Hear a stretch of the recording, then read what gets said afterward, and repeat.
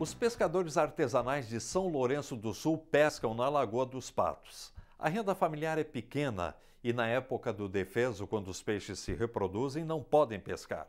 A situação começou a melhorar quando eles fundaram a sua cooperativa, a Coopesca. Confira.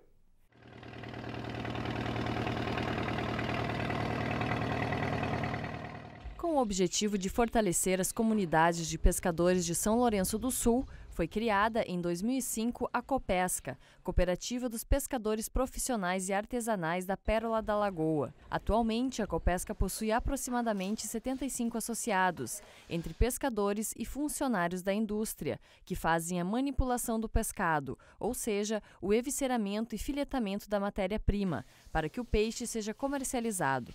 Por que, que surgiu essa necessidade de se formar uma cooperativa? Por que, que vocês decidiram se unir e fazer uma cooperativa? Porque aqui tinha só um, um, uma firma, né? Que eles, eles, eles vendiam. E para ajudar o pescador, no, os pequenos principalmente, por causa que eles, eles não. Pouco peixe às vezes não queriam entregar para uma empresa grande, né? E, e, uh, e eles pescam perto também. Não é como o grande que vai para a lagoa e tem como vender seu peixe nos barcos.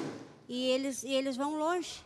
E aqui não, aqui os pequenos, eles, eles pescam perto, então eles têm como trazer o peixe.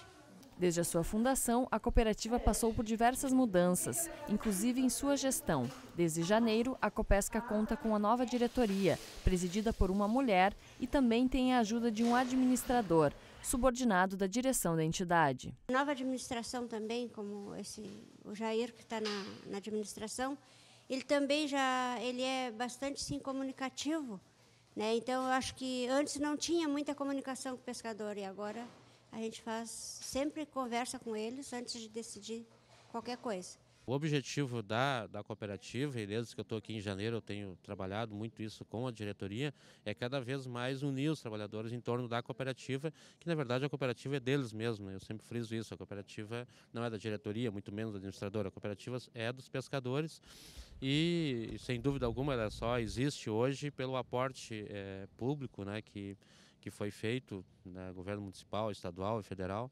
para montar toda a estrutura, porque senão toda essa estrutura aqui, certamente só com o que os pescadores é, é, produzem, né, só com a sua renda, não seria possível já ter uma estrutura como nós temos aqui hoje. A estrutura da cooperativa foi construída com verbas do governo federal. Além da indústria, a Copesca também possui um local de comercialização de peixes e uma estrutura para venda de gelo. Mas a grande conquista da cooperativa foi a licença concedida pela Coordenadoria de Inspeção de Produtos de Origem Animal, setor que pertence à Secretaria da Agricultura, Pecuária e Agronegócio do Estado. A licença permite que o produto seja comercializado em todo o Rio Grande do Sul.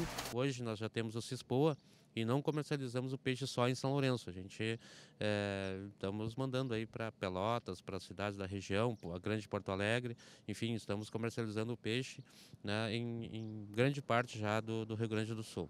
Apesar das conquistas da cooperativa, os pescadores ainda enfrentam adversidades.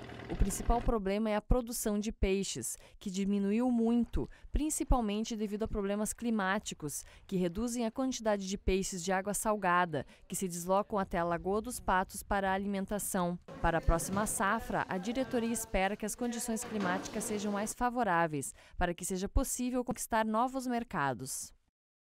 Agora a gente está procurando mercado, né? Se, se der uma safra assim, boa, a gente está procurando mercado como vender o peixe natura, né? Que a gente pode comprar mais. E é isso, sim. Mas ainda pode melhorar muito, que a gente, a gente tendo uma, um, um mercado, a gente pode pagar mais para eles. Como agora mesmo esse ano, a gente já está pagando um pouco mais para eles. Os trabalhadores da cooperativa geralmente conseguem realizar atividades relacionadas à pesca durante todo o ano, mesmo em épocas em que a pesca na lagoa é proibida devido a questões ambientais. São trazidos peixes de outros locais onde a pesca é permitida para que o trabalho não pare. Ivone Oliveira Gonçalves trabalha sete anos na Copesca e comenta que o clima do trabalho é bastante interessante, já que se trata de uma empresa menor. Sim, claro, aqui bem melhor, porque a gente tem tem mais a comparação, assim, a... A gente tem mais amizade, não é assim uma empresa grande, a gente é poucas pessoas e tudo.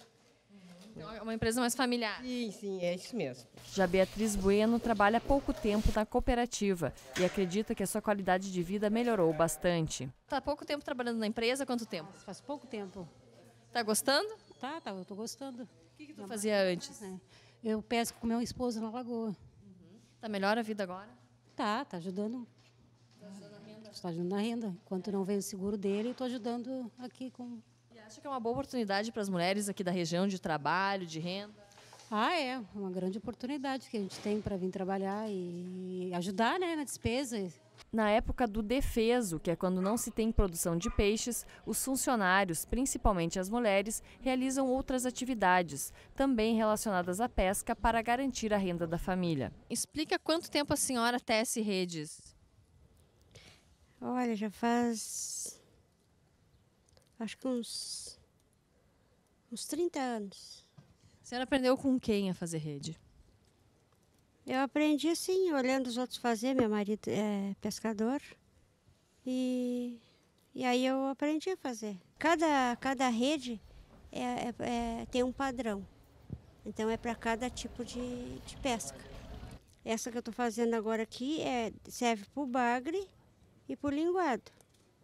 Essa aqui vai, vai mais uma rede por cima, junto com essa aqui, para que é a albitana que chamo, que a malha é, é três, quatro vezes maior.